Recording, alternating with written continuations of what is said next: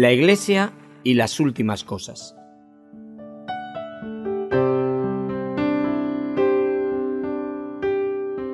Un estudio expositivo sobre el fin de los tiempos a cargo del siervo de Dios, Loel Bruckner.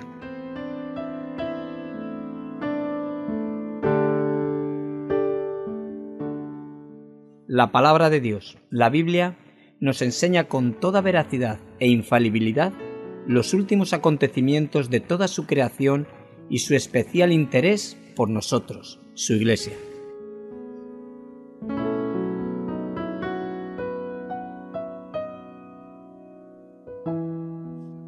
Entonces habrá señales en el sol, en la luna y en las estrellas, y en la tierra angustia de las gentes, confundidas a causa del bramido del mar y de las olas, desfalleciendo los hombres por el temor y por la expectación de las cosas que sobrevendrán en la tierra, porque las potencias de los cielos serán conmovidas. Entonces verán al Hijo del Hombre que vendrá en una nube con poder y gran gloria. Cuando estas cosas comiencen a suceder, erguíos y levantad vuestra cabeza, porque vuestra redención está cerca.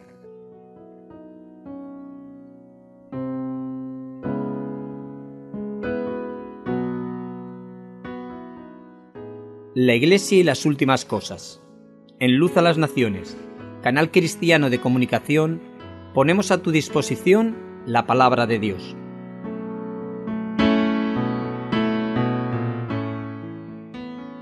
Síguenos a través de nuestros canales de Facebook y YouTube, que podrás encontrar en la página web www.fmradioluz.com.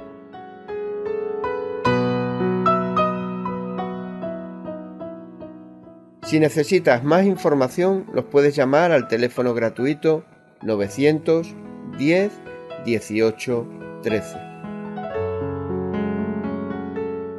La Iglesia y las últimas cosas. Mas el fin de todas las cosas se acerca. Sed pues sobrios y velad en oración.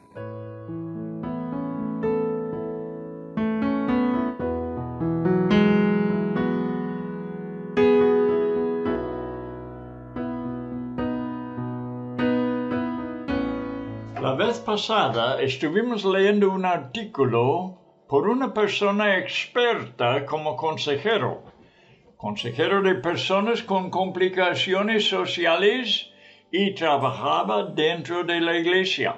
Él estaba explicando cómo la iglesia ha sido influenciada por la psicología que recomienda el psicología recomienda el alto autoestima. O sea, es asunto de la psicología, no de la Biblia.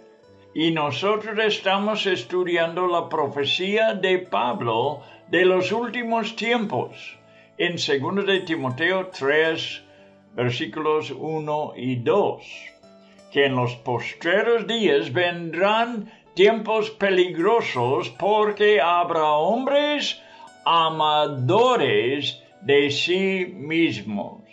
Repetiré unos dos párrafos que leímos al terminar el programa la vez pasada. Aquí las palabras de Dan Denk. Otra manera en la que la doctrina cristiana ha sido influenciada por la psicología del egoísmo se manifiesta en el argumento siguiente. El hecho de, que Cristo murió por nosotros prueba que somos de mucho valor. Así lo explica Cecil Osborne en su libro El arte de amarte a ti mismo, publicado por Van, una gran empresa en Michigan. Tenemos que tener algo verdaderamente maravilloso, sigue diciendo, en nosotros si a Dios se le hizo fácil amarnos y aceptarnos.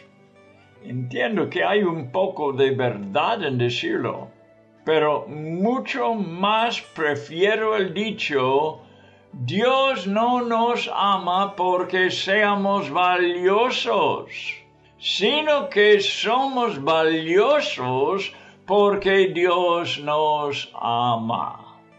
La hermosura del Evangelio cristiano es que, siendo aún enemigos, Cristo murió por nosotros. Romanos 5, 8. Y sigue, seguimos leyendo. Dios nos vio tal y como éramos, desventurados, arrogantes, no merecedores, y sin embargo nos amó. Esto es algo por lo cual podemos sentirnos bien. Y allí termina la lectura ah, de este hombre que está examinando, pues, la psicología que él halló personalmente en la iglesia, enfatizado en el consejo de personas que tenían problemas personales en su personalidad. Bien, mire, seguiré con este argumento, lo que él está diciendo. Si nosotros vemos que Dios nos amó siendo nosotros pecadores, desventurados, arrogantes, no merecedores, entonces estamos ensalzando el amor y la misericordia de Dios. ¿Te acuerdas de la mujer gentil a la que Cristo había nombrado que era como un perrillo? ¿Te acuerdas la historia? Lo más que alzamos el valor humano, humano, desvaloramos el amor de Dios. Si Dios solamente puede amarnos si somos valiosos, esta rebaja bastante el amor de Dios. Él nos amó a pesar de lo que éramos. Vamos a empezar el programa hoy estudiando la verdad bíblica en Romanos capítulo 5, 6 a 10 que refirió a que refirió Dan Denk veremos que no es cierto. La opinión de ese autor, Cecil Osborne, en su libro, al decir el hecho de que Cristo murió por nosotros, prueba que somos de mucho valor y también dijo, tenemos que tener algo verdaderamente maravilloso en nosotros si a Dios se le hizo fácil amarnos y aceptarnos no es cierto. Es que Cristo murió por pecadores, por enemigos, por impíos, porque su amor es grande y alcanza lo más vil entre los seres humanos. Muy buenas tardes, amigo. Eh, vamos eh, entrando en asuntos de los últimos días en este programa y nos basaremos totalmente en la Biblia, no en la psicología. En este estudio queremos ser 100% bíblicos. Será pues un estudio bíblico sobre la profecía. Aún la profecía en cuanto de los hombres, los seres humanos de los últimos tiempos. Hemos seguido lo que va a suceder durante la gran, tribulación, terminando con la batalla de Armagedón. Hemos hablado de las bodas del Cordero. Hemos hablado del tribunal de Cristo. Hemos hablado del milenio. Continuando un poco más con la profecía del gran trono blanco. Como siempre, interpretando todo literalmente, porque vemos que al interpretar estas cosas literalmente, no podemos desviarnos en muchas diferentes direcciones como los que interpretan, según ellos, espiritualmente. Y temo que mucho de lo que dicen son opiniones y conclusiones humanas y pueden ir en la dirección que quieran si van interpretando espiritualmente. Este es el peligro de interpretar la Biblia así.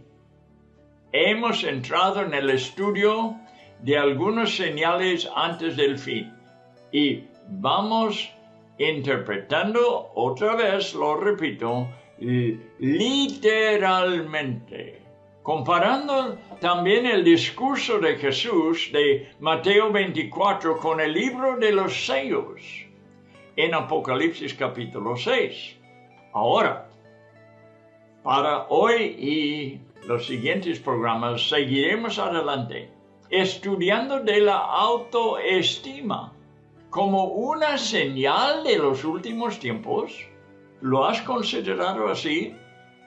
Pues Pablo dice que así serán los hombres de los últimos tiempos y por eso es profecía.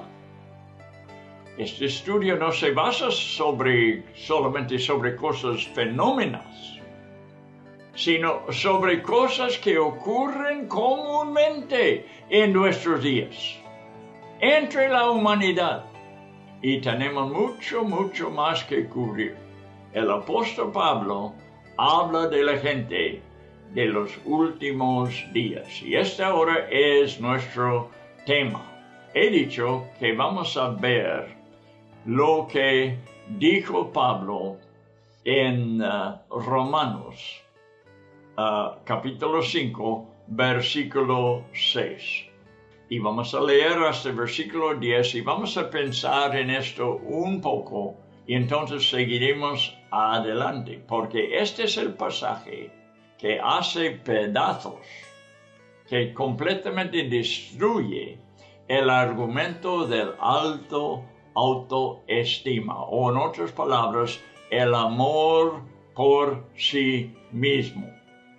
Dice Pablo, porque Cristo cuando éramos, la primera palabra es débiles, ¿eh? no es que vio algo tan especial en nosotros, algo fuerte, algo hermoso, sino vio algo débil en nosotros. Pero esta no es la última palabra. Sigue diciendo, a su tiempo murió por quién? Los hermosos, por los que tenían mucho valor, murió por los impíos, las personas que no tienen nada de la naturaleza de Dios en sí. 7. Ciertamente apenas morirá, este es el argumento de Pablo, apenas morirá alguno por un justo.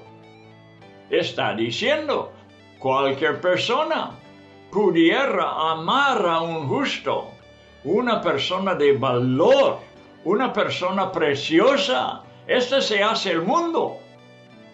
Con todo, pudiera ser que alguno osara morir por el bueno. Este puede ser el ser humano, pero el ser humano no puede hacer lo que hizo Dios. Versículo 8. Aquí dice, mas Dios muestra su amor, un amor superior un amor que no solamente ama al justo, al bueno, al precioso, al hermoso, al fuerte, al valioso, sino el amor de Dios se muestra para con nosotros en que siendo aún pecadores. Si puedo decir, apestosos. Yo creo que no sería incorrecto. Nosotros, los inmerecedores, los pecadores, los sucios, Cristo murió por nosotros. Nueve. Más mucho más estando ya justificados en su sangre, por él seremos salvos de la ira de Dios. Porque eso es lo que merecemos, la ira de Dios. 10. Porque si siendo enemigos, aquí hay otra palabra, mira las palabras que hemos visto, débiles, impíos, pecadores. Añade otra palabra Pablo, enemigos. Tú y yo, hay que admitirlo, éramos enemigos de Dios por naturaleza. Siendo enemigos, no hermosos, no preciosos, no valiosos, enemigos. Fuimos reconciliados porque Dios nos amó a pesar de lo feo que éramos. Fuimos reconciliados con Dios por la muerte de su Hijo. Cristo murió por tales personas. Mucho más, siendo reconciliados seremos salvos por su vida. Vamos otra vez, una vez más. Segundo de Timoteo, capítulo 3, versículo 1 y 2. también debemos saber esto. Segundo de Timoteo 3, 1 y 2. Quiero que apunte estos versículos. Yo lo quiero, bueno, le estoy... No es para mí, ¿verdad? es porque yo deseo que nos despertemos a lo que hay en, aún en la iglesia hoy en día, errores que contradicen la palabra de Dios, lo que enseñó Pablo de la gente de los últimos tiempos y cristianos han caído en una trampa a pesar de las instrucciones y el aviso que nos dio el apóstol Pablo. Leeremos 1 y 2. Segunda de Timoteo capítulo 3. También debes saber esto, que en los postreros días vendrán tiempos peligrosos. ¿Por qué? Y da la razón. Porque habrá hombres. El problema es el hombre. El peligro viene de los hombres. ¿Y por qué? ¿O cuáles hombres? ¿Qué están haciendo los hombres? ¿Qué están creyendo los hombres? Porque habrá hombres amadores de sí mismos bueno, avaros, vanagloriosos, soberbios, blasfemos, desobedientes a los padres, ingratos, impíos, y sigue la lista, pero como vamos a tratar estas cosas primero, lo estamos poniendo delante de nosotros en el momento. Después seguimos al versículo 3. Volvemos al artículo escrito por este cristiano experto, consejero de personas complicadas socialmente, Dan Denk. Dijo algunas cosas más que quiero leer y quiero que lo escucha. No son palabras mías, son palabras de un experto en dar consejos que antes él admita que lo hizo mal, incorrecto, no bíblico. Ahora dice esto. Esto es para nuestro bienestar. Hoy en día, que nos desengañemos totalmente de estas cosas que han entrado en la iglesia. El Señor Jesús dejó claro, dice Dandenk, que tenemos que negarnos a nosotros mismos, no amarnos, a negarnos. Nos ha llamado a perder nuestras vidas, ¿no dice la Biblia? perder nuestra vida para poder ganarla, perder nuestras vidas por causa suya, causa de Cristo. Esta clase de enseñanza puede ser llamada lo que lo llaman esas gentes que creen en la alta autoestima piensan que esta teología que está presentando Don Denk es una teología de gusanos. Lo desprecian en algunos círculos cristianos porque contradice la doctrina del amor propio. Será quizás una pena o vergüenza para la psicología de algunas personas, pero está muy de acuerdo con las enseñanzas de las escrituras. Y amigo mío, tenemos que estar bíblicos en lo que creemos. Lo demás es muy peligroso. ¿Qué hacemos entonces? ¿Sigue, ¿Seguimos leyendo? ¿Qué hacemos entonces con los sentimientos de inferioridad? La solución no es un autoanálisis. Escucha bien, este es bíblico y este es muy importante lo que va a decir ahora cuando Dios llamó a Moisés en Éxodo capítulo 3 para ir delante de Faraón y guiar a Israel afuera de Egipto, Moisés respondió de forma típica. Escucha cómo contestó Moisés. ¿Quién soy yo? No puedo hacer algo parecido en otras palabras. No dijo en estas palabras, pero él sí dijo, yo no puedo hacer esto. El Señor nunca contestó a su pregunta, ¿quién soy yo? Abre tu Biblia en Éxodo capítulo 3 para que veas esta conversación con Dios.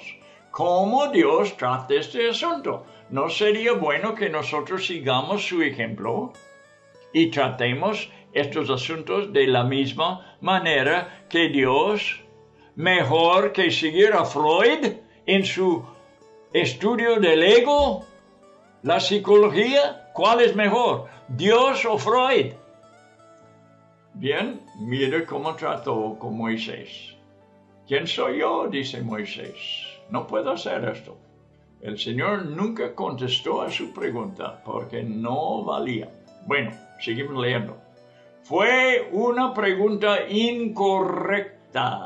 Sin embargo, empezó a mostrar a Moisés quién le estaba llamando a su trabajo. Quizás esperamos que Dios dijera, vale Moisés, veo que tienes un problema con bajo autoestima.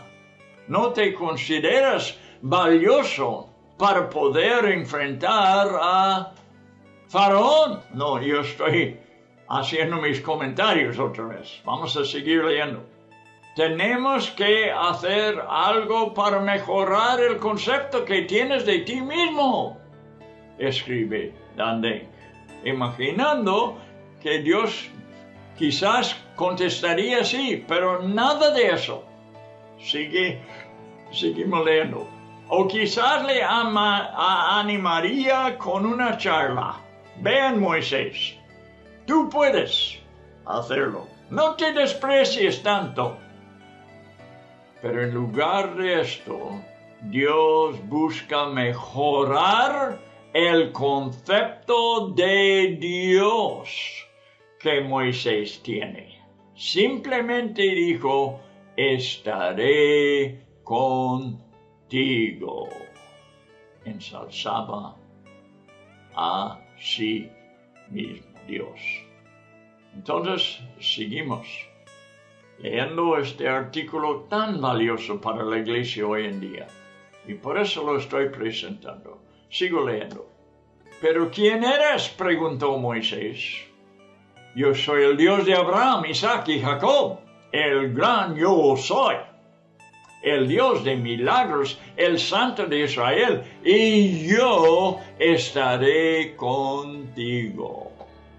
¿No sería esto una terapia mejor que intentar fortalecer el ego en una persona? Cuando Moisés entendió quién era Dios y que Él estará con él, sus propios temores e insuficiencias desaparecieron. Seguimos leyendo. ¿Cómo debemos vernos? Entonces, la respuesta es realmente vernos como Dios nos ve. Es verdad que fuimos creados a imagen de Dios y somos la corona de su creación. Esto sí es verdad. Pero somos criaturas caídas y por la tendencia actual que tenemos a exaltarnos, necesitamos una dosis generosa de humildad. Orgullo es autoengaño. Ignorancia de la realidad en cuanto a nosotros mismos. Necesitamos vernos sinceramente como Dios nos ve. Debemos responder como el publicano. Dios, ten misericordia de mí. Soy un pecador. Y no como el fariseo. Dios te doy gracias que no soy como los demás. Esto tenía un alto autoestima, digo yo. Sigo leyendo. La meta es auto-olvido, dice Dandek. Alguien dijo, si tú te encuentras con un hombre verdaderamente humilde, no estará este hombre pensando en humildad, ni estará pensando de ninguna manera en sí mismo. Y así terminamos leyendo el artículo de Dan Denk. Qué valioso es, qué valioso es. Es imposible que uno sea creyente en la Biblia y todavía creer en la alta autoestima, porque la Biblia en todas partes habla en contra de esta idea. El publicano que acabamos de escuchar, dijo Jesús, fue a su casa justificado y el fariseo no. Pero los que creen en el alto autoestima por su creencia, quizás no lo admita, pero su creencia justifica el fariseo. Tiene el alto estima, ese hombre, autoestima. ¿Y cuál fue condenado por el Señor? Pues él.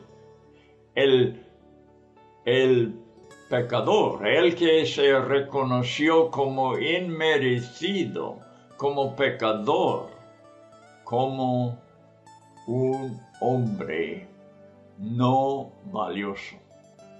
Fue quien fue a su casa justificado por Dios. Hay ejemplos bíblicos, vamos a ver, bueno, dos, tres.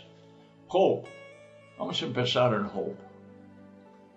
Job capítulo 42 y versículo 5. De oídos, Job está hablando aquí cuando Dios se manifiesta a él y sus tres amigos. Y entonces Job dice esto, de oídos te había oído, mas ahora mis ojos te ven. ¿Qué es la reacción de la persona que se enfrenta verdaderamente con Dios, versículo 6. Por tanto, me ama. ¿Ah? Dice allí, me ama. Eh, ¿Tienes tu Biblia abierta? Job 42, 6, ¿qué dice? Por tanto, me aborrezco y me arrepiento. El estado de reconocer lo malo que somos y aborrecerlo es lo que nos conduce al arrepentimiento. Y sin arrepentirnos no podemos ser salvos. No es un cristiano la persona que no se arrepiente. ¿Y cómo se va a arrepentir si se ve con un alto autoestima? ¿Cómo se va a arrepentir tal persona? Es imposible. Por tanto me aborrezco, enseña la Biblia. Me arrepiento en polvo y ceniza. Es teología de gusanos, pero gusanos salvos. De oído, de te había oído, mas ahora mis ojos te ven, por tanto me aborrezco y me arrepiento en polvo y ceniza. Se enfrentó a sí mismo y se arrepiente. Su sin arrepentimiento no puede uno ser salvo. Ahora vamos a Isaías 6, versículo 5. Isaías hablando de su llamamiento al ministerio de profeta. Dice en Isaías 6, 5. Entonces dije, ay de mí, que soy muerto, porque siendo hombre escucha inmundo de labios, él no ve algo precioso en sí, algo hermoso, ve algo inmundo en sí, inmundo de labios y habitando en medio de pueblo, no solamente él, él vio a todo su pueblo que, que tenía labios inmundos. Porque han visto mis ojos al rey, Jehová de los ejércitos, y su encuentro con el rey Jehová de los ejércitos le hizo ver a sí mismo como un vil pecador. Lucas capítulo 5, versículo 8. Ahora estamos en el Nuevo Testamento. Quizás Dios ha cambiado entre el Antiguo y el Nuevo Testamento. Quizás ya está queriendo gente con alto autoestima. Ahora, vamos a ver lo que pasa con Pedro.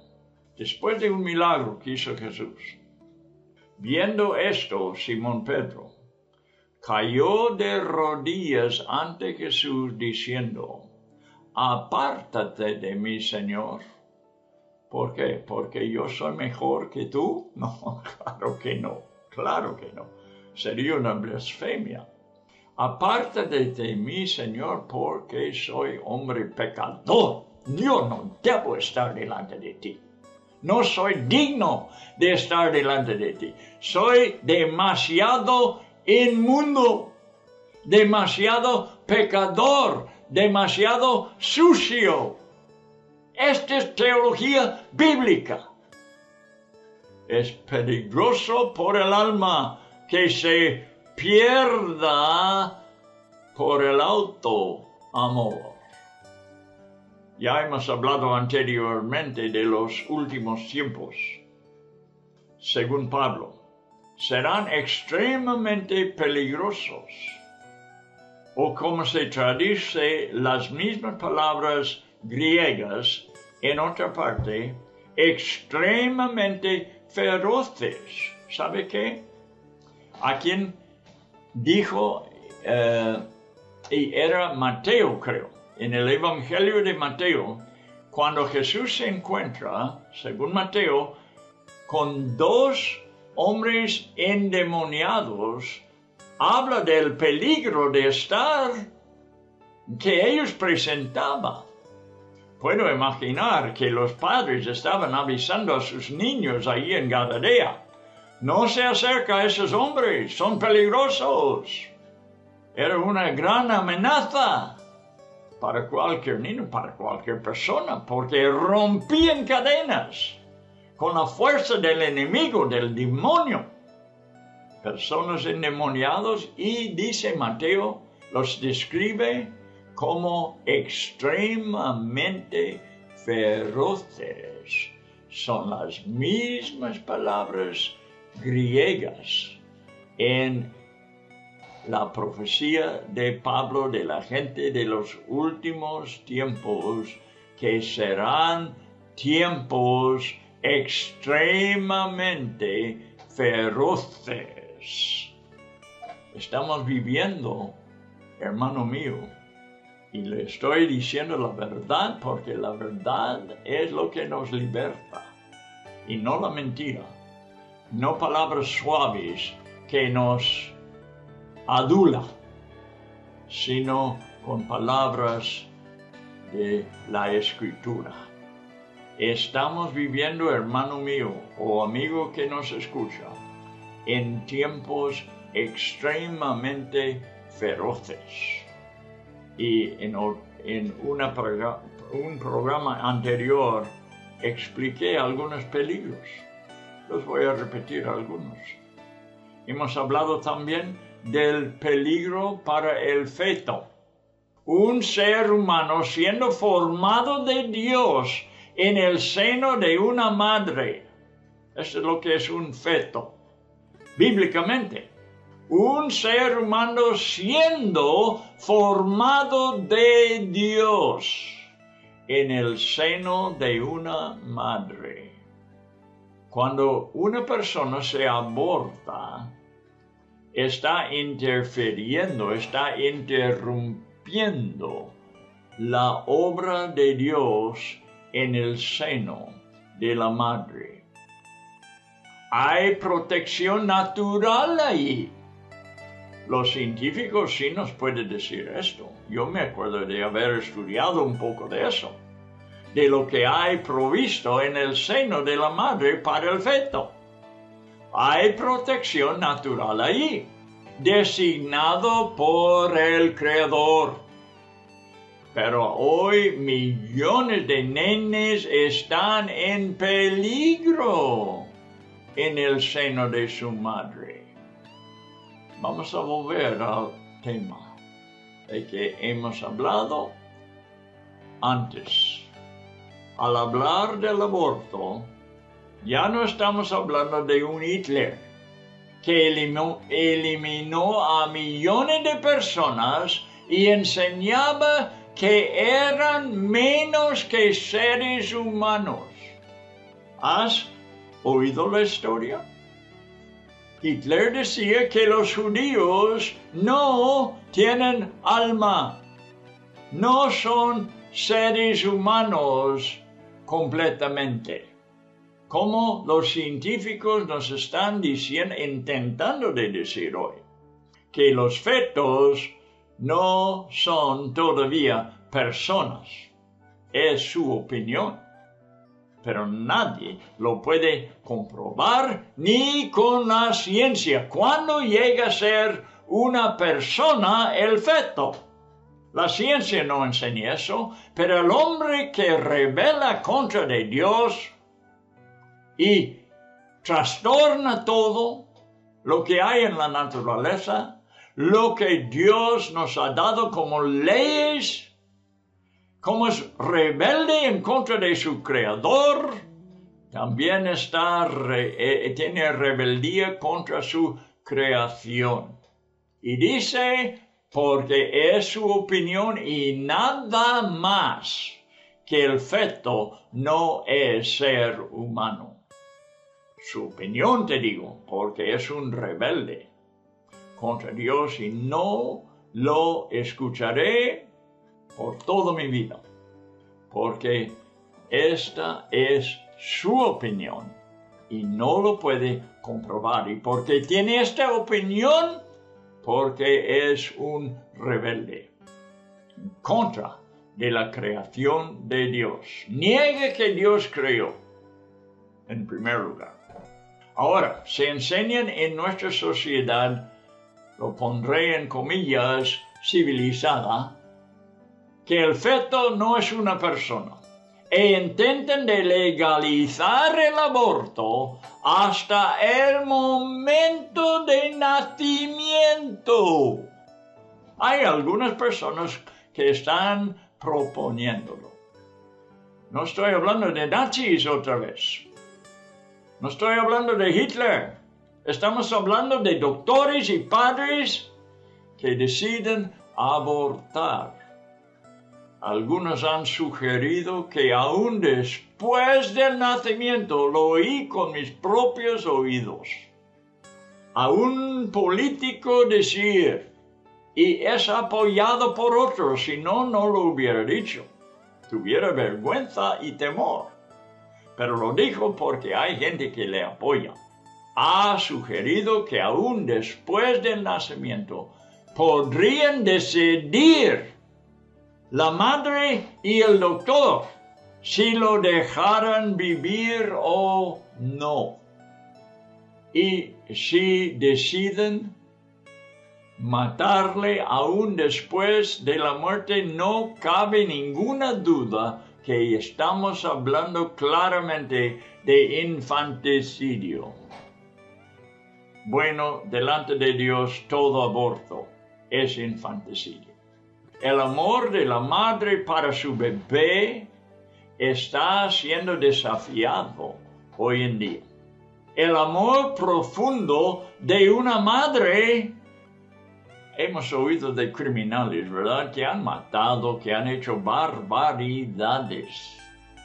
Pero cuando hablan de su madre, hablan con ternura. Este es el, uno, el único punto de referencia a que pueden referir de alguien que les amó. Y ahora, ahora podemos hablar del amor de madre en frente de millones de niños abortados. Vamos a ver lo que dice el salmista, inspirado por el Espíritu Santo. ¿Tú te dices cristiano y que crees en el aborto? Ojalá que no haya ninguno que me escucha. Pero hay personas que se dicen cristianos, yo no digo que son y aún creen en el aborto. Yo oí, la, hija de un presidente fue, un presidente de los Estados Unidos, dijo, yo me considero mala cristiana si no creería en el aborto. Ella pensó que el aborto es algo cristiano. ¿Tendría razón? No puede ser porque la Biblia es la autoridad máxima del cristianismo. Es la Biblia que dice lo que es el cristianismo. Si no fuera por la Biblia, el cristianismo no existiría. Y un cristianismo que no reconoce la Biblia sí, no puede ser legítimo. Escucha Salmo 139, 13. También te animo a apuntar estos textos, 13 hasta 16. Salmo 139 te habla aquí de la formación del feto en el seno de la madre. Dice el salmista, porque tú, Dios, formaste mis entrañas, me hiciste en el seno de mi madre. ¿Ves cómo Dios está obrando allí? Te alabaré porque asombrosa y maravillosamente he sido hecho. ¿Por quién? Por Dios. Maravillosas son tus obras, Dios, tú que me formaste. Y mi alma lo sabe muy bien, el alma, si lo escuchamos, lo sabe muy bien. Pero muchas personas no escuchan a su alma. Escuchan a los expertos ateos y sin Dios de nuestros tiempos. No estaba oculta de ti mi cuerpo, cuando en secreto fui formado. Otra vez hablando del seno de su madre y entretejido en las profundidades de la tierra. Tus ojos vieron mi, aquí está la palabra, embrión, y en tu libro se escribieron todos los días que me fueron dados, empezando cuando él fue embrión. cuando no existía ni uno solo de ellos. Este es lo que la Biblia habla del feto. Yo lo creo, la Biblia, porque es la palabra de Dios, no la opinión de hombres rebelando contra Dios. Tengo que conformarme con la enseñanza de la Biblia y basarme en ella. El apóstol Pablo dice en Romanos 3, 4, antes bien, sea hallado Dios veraz, aunque todo hombre sea hallado mentiroso, todo el hombre. Los siete billones que existen hoy en día podrán decir otra cosa.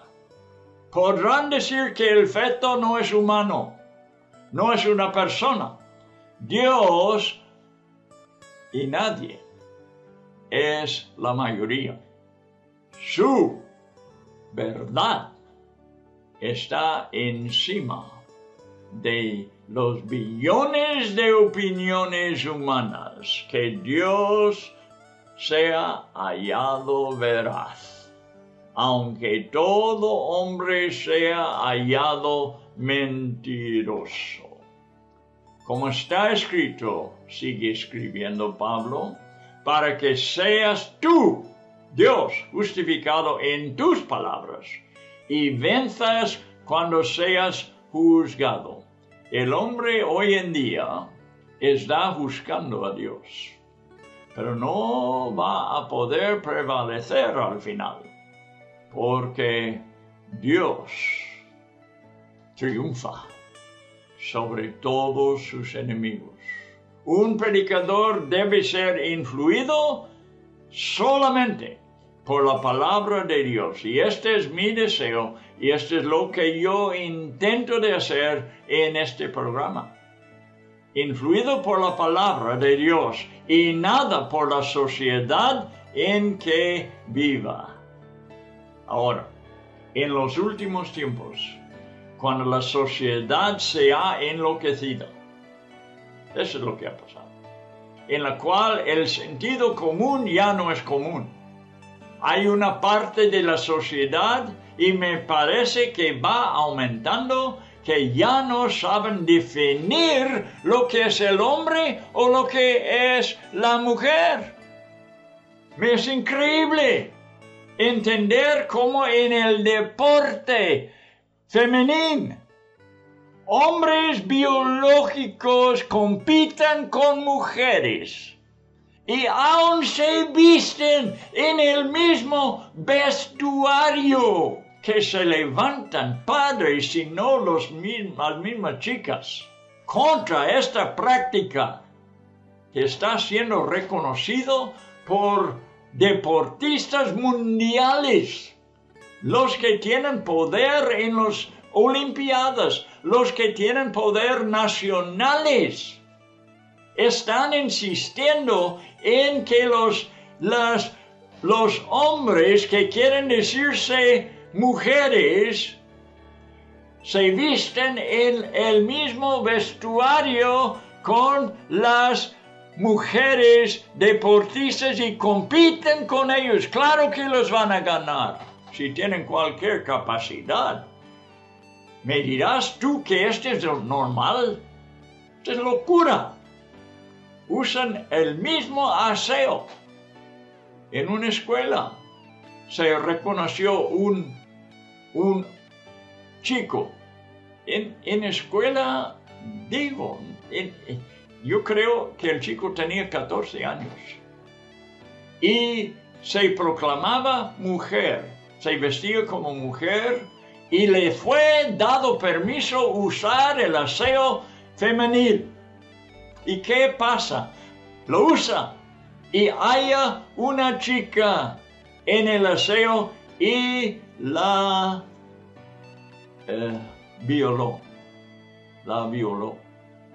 Mm, ya no era tan mujer, ¿verdad? En la misma prisión pueden entrar estos hombres que se dicen mujeres. ¿Puedes entender por qué hay violaciones entonces? ¿Me dirás que este es normal? Amigo mío, es una locura. Y los gobernantes del pueblo conducen al público en esta dirección. Y yo voy a hablarlo. Yo estimo a la palabra de Dios. A una candidata para que cuando fue examinada por el Senado, los Estados Unidos, que ahora es jueza del, del, del Corte Suprema. Ahora es jueza suprema entre los nueve personas en el Corte Suprema de los Estados Unidos, que la preguntaron en el Senado qué es una mujer. ¿Sabe qué? Dijo, no puedo. No pudo definir lo que sea una mujer. Y este es uno de los jueces más importantes en los Estados Unidos. Que Dios tenga misericordia, hombre. En tiempos pasados, los Estados Unidos servían como un ejemplo para todo el mundo de lo que era una nación de justicia y compasión. ¿Puedes tú confiar que esta nueva jueza va a interpretar a la ley justamente? Yo no. Bueno, perdona mi ira, pero me da rabia. ¿Por qué? Si estuviera en un manicomio, yo creo me daría rabia de cómo se porta los las personas ingresados allí. Alguien ha dicho, el mundo es un manicomio y los pacientes la están dirigiendo. Más verdad que nunca hoy en día. Bueno amigos, estoy en los señales de los últimos tiempos. Estoy hablando de los hombres de los últimos tiempos, los seres humanos de los últimos tiempos. Y sí, me enfada por las prácticas que ellos exhiben, por su mentalidad, por su carácter, por su falta total de carácter. Hombres amadores de sí mismos que aman a sí mismos y interpretan las cosas como les da la gana, como aprueban el aborto, aprueban la perversión sexual.